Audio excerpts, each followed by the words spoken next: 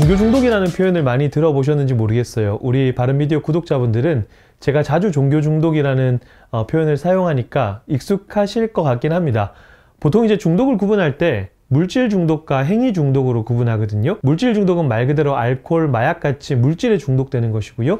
행위 중독은 역시 문자 그대로입니다. 도박 중독이 대표적인 행위 중독이죠. 행위 중독은 다시 무형의 중독과 유형의 중독으로 구분합니다. 도박이 눈에 보이는 행위 중독이라면 눈에 보이지 않는 사람의 마음과 관련된 것들 예를 들어서 관계 중독 등이 무형의 중독이겠죠.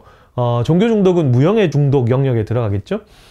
어, 제가 일전에 종교 중독에 빠지지 않으려면 이라는 영상을 통해서 종교 중독의 정의를 간략하게 언급을 했잖아요. 첫째는 참된 하나님이 아닌데 참된 하나님을 섬긴다고 착각하는 것. 두 번째는 하나님을 도구화하는 신앙이라고 말씀을 드렸어요. 어, 오늘 나눌 이야기는 음, 참된 하나님을 섬기지 않는데 섬긴다고 착각하는 것, 하나님을 도구화하는 신앙이 낳는 결과물들입니다. 쉽게 얘기하면 종교 중독자들에게서 나타나는 현상 말이죠. 많은 특징들이 있는데 저는 오늘 세 가지만 말씀을 드리려고 해요. 먼저 제가 말씀드릴 세 가지는 어떻게 그럼 얻은 결과물이냐라고 질문하시는 분들이 계실 것 같아서 그 부분부터 잠깐 이제 언급을 드리면 우선 많지는 않지만 한국과 외국에서 이미 종교 중독에 대한 연구 결과물들이 있거든요. 어, 그런데 그 결과물에만 의존하는 것이 아니라 저는 어쨌든 현장에 있으니까 현장에서 수많은 사이비 종교 신도와 탈퇴자들을 만나면서 얻은 저만의 결과물이 있겠죠. 그 두 가지를 종합한 내용이라고 생각을 하시면 될 것 같고요. 어, 그래서 제가 오늘 종교 중독에 대한 이야기를 하는 중요한 이유는 사이비 종교만이 종교 중독이라는 것이 아니라 저 그리고 오늘날 정통을 자처하는 많은 사람들이 나는 종교 중독에서 자유로운가? 라는 질문을 스스로 던져보기 위함이라는 점도 기억해 주시면 좋겠어요. 종교 중독자들에게서 나타나는 현상 첫 번째는 극단적인 이분법적 사고방식인데요. 이런 이분법적 사고방식에서 선과 악을 구분하는 기준이 자기 자신이 됩니다. 그래서 모든 것을 자기 중심으로 생각하는 이기적인 모습이 나타나죠. 지난 2014년 5월에 중국 산둥성의 맥도날드 매장에서 포섭을 거부한다는 한 여성을 구타해 사망케 한 동방번개 신도 일가족 이야기를 들어보셨죠. 당시 언론에도 굉장히 많이 보도가 됐는데 어, 사실 포섭을 거부한 건 표면적인 이유고요. 중국에서 재판이 이루어진 영상 일부를 봤는데 신도들은 이 여성을 마귀라고 지칭합니다. 실제 현장에서도 마귀라고 했다고 하죠. 자신을 거부하면 모두 마귀 혹은 적대자가 되죠. 그게 가족이라고 할지라도 말이죠. 둘째는 왜곡된 사고방식인데요. 종교 중독자는 때론 목사에게 중독된 사람도 있을 수 있어요.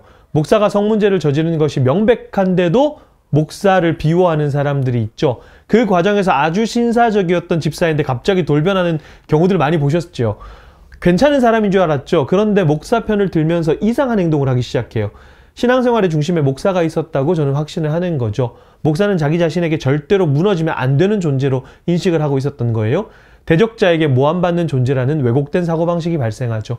종교 중독자에게 나타나는 세 번째 특징은 극단적인 신비주의를 추종하는 거거든요. 겉으로는 체험을 통해서 하나님을 경험했다고 말하지만 실상은 신비 체험을 통해서 현실 세계의 어려움을 극복하겠다는 심리를 가지고 있어요. 신비 체험이 현실 도피인 셈이죠. 제가 종교 중독의 정의에서 하나님을 도구로 이용하는 신앙에 대해서도 이야기를 했는데 결국 신비 체험이 자신의 인생에서 뭔가 특별한 것을 얻기 위한 혹은 방금 말씀드린 현실 도피의 수단인 거거든요. 그런데 이 체험이라는 게 마치 마약 같아서 체험이 없으면 신앙을 유지하기가 어려워요. 왜 더 이상 체험을 안 주시죠? 라는 의문이 발생하고요. 하나님이 더 이상 나를 사랑하지 않으시나 같은 두려움과 불안에 쌓이게 되는 거죠. 이 외에도 자신의 삶과 가족을 돌보지 않고 과도하게 헌금하고 봉사하는 사람, 무속적 신앙에 사로잡힌 사람, 성화의 과정이 전혀 없는 사람 등이 어, 종교 중독자들이죠. 그들에게 나타나는 현상이고요. 나의 신앙은 건강한가 혹은 나의 신앙에 종교 중독적 요소를 가지고 있지 않은가 스스로 지속적으로 돌아보는 것이 굉장히 중요할 것 같습니다. 바른미디어는 여러분의 응원에 힘입어 지속됩니다. 바른미디어 유튜브 멤버십 가입을 통해서 저희와 함께 하실 수 있습니다. 많은 분들의 참여를 부탁드립니다. 감사합니다.